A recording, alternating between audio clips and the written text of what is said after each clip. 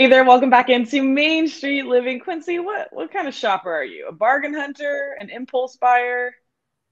Eh, probably more of a bargain hunter. I'm frugal. More of a bargain myself as well. But no matter what your shopping style is, you want to make sure you end up with items that are unique and not necessarily what everybody else can find at the big box stores. Yeah, well, our next guest founded and continues to run an amazingly cool community market in Providence, Rhode Island. Let's welcome to Main Street Living, Maria Tocco. How you doing there, Maria? Fine, thanks. How are you guys? We are doing wonderful. Well, I can't speak for uh, uh, Danielle. I know she's. Oh, I'm so excited for this segment. yeah, well, you know, Maria, you followed your dream to start a local community market in uh, Providence, Rhode Island, almost a decade ago. Like, what were you hoping to create? Well, I, you know, it started out as a side hustle, and um, I had been going to the Brooklyn Flea for many years, and really wanted to cre- recreate that sort of environment here in Providence. And so, you know, it's really um, a venue where commerce and community intersects. Nice. Nice. Well, the Providence Flea is not a typical flea market. So, what is the market like today, and what can shoppers find? It's not a typical flea market, um, and it hasn't been, which is why we dropped the market from the name. So it's really just the Providence Flea in the sort of in the vein of the Brooklyn Flea, as I mentioned, and the Cleveland Flea, and the Berkeley Flea. Um, so it's it's an indie maker and vintage market. So you will find lots of um, independent artists, artisans, vintage vendors, uh, small batch bake shops, um, clothing vendors, um, you know, graphic designers who are who have their own streetwear brands, um, uh, you know, handcrafted jewelry, um, handmade apothecary items. So it's a little bit of everything, and we also um, promote local nonprofits every week as well. So it's it's really a great mix, and I think because the vendors change every week, that's kind of what keeps people coming back to see what's new and different.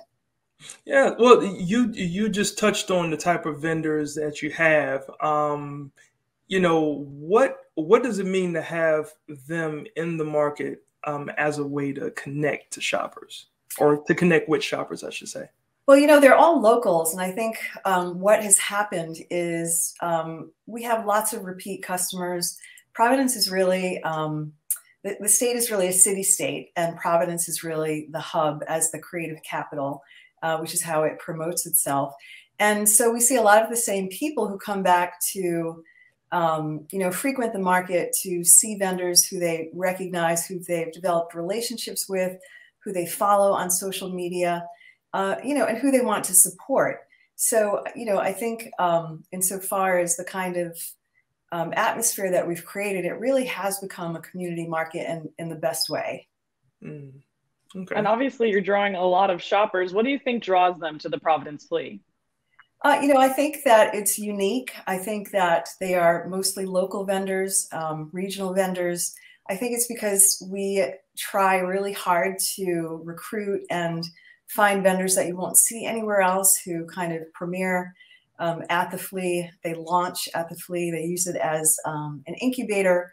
Um, they use it to, you know, test products, to get consumer feedback, you know, to see what works really. So I think, you know, um, the more people that find out about it or have found out about it over the years, when they come here, they realize that it's not a typical flea market they realize that it's local. They realize that it's all small batch and independent makers.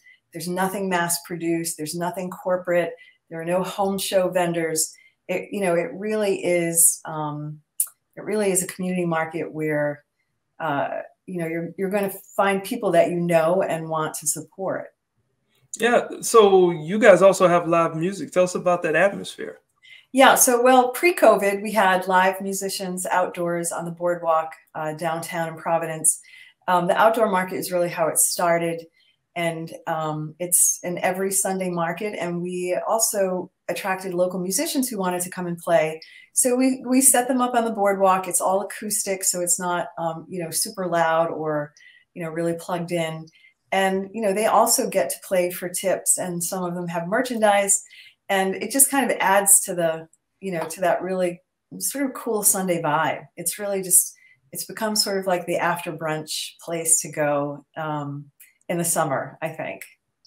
Yeah, it's like what what Sunday should be about is a vibe because that's the last day before the beginning of the real work week. So yeah. togetherness. Yeah. Uh, well we have to talk about too how you got here. You were very successful. You had a great stable job and then you decided to become an entrepreneur with the providence flea venture. Your vendors are also entrepreneurs and small business owners. How much impact do these small businesses have on your local economy and what does that kind of mean to you to be able to support that?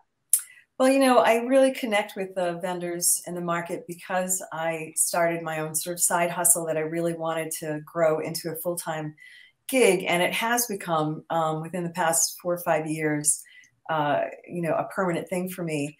But you know, we we've um, hosted over 2,000 vendors, uh, unique vendors over the years since we started counting um, in 2016.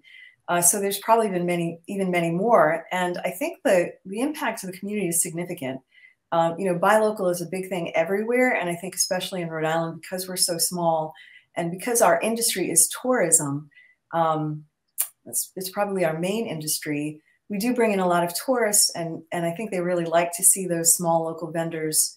And I think that you know the more money that um, the more money that that you know people spend on these local businesses is money down the line that stays in the community um, as those small vendors buy other things. You know, it's not going to the headquarters of a big box store somewhere out of state.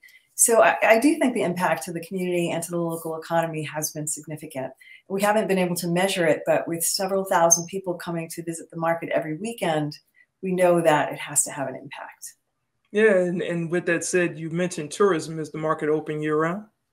It is now. We started as just a summer seasonal market, and um, you know, within a few years, we became a year-round market Today we are indoors at the new state-of-the-art Farm Fresh RI Market Hall, which is a um, dedicated market hall for their uh, farmers market on Saturdays, and we program it with our flea on Sundays from September through May, and then we go outdoors uh, because in you know New England we have a very short outdoor season, so we're outside from uh, June through September. Nice. Where can viewers get more info about the market? Certainly, they can visit our website at providenceflea.com or send us a, uh, an email at info at providenceflea.com and follow us on social at providenceflea. Awesome. Awesome. Well, thank you so much, Marie, from one entrepreneur to another. I salute you. thank you guys. Appreciate it. No problem. No problem. Well, Danielle, up next, we stay right here in Rhode Island where it's all about their signature cuisines. Don't miss it.